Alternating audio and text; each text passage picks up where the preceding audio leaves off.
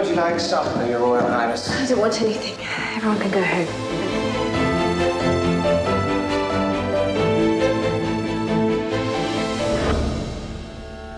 Well, I'll see you next weekend. The one after.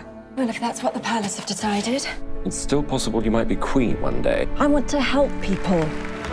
You're so good at giving love. The hard part is receiving love. Doctor, this is Diana. Well, perhaps I can show you around.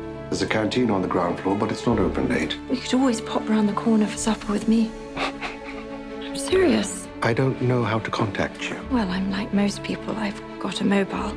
Actually, I'm not like most people. I have four. Cheers. Cheers. He doesn't treat me like a princess. It's almost as if he doesn't know who I am. Maybe he doesn't. He might be very badly informed. You're the most famous woman in the world. Use your power. I'm only trying to highlight a problem that's going on all around the world.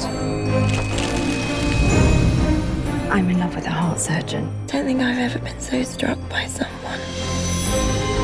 If your feelings are this strong, he will feel the same. Where are we going? To the very edge of the kingdom.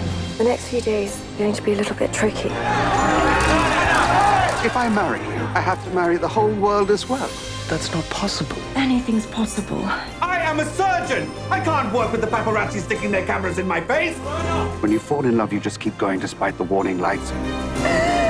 You keep telling me everything's going to be all right. It's not all right. It's all wrong.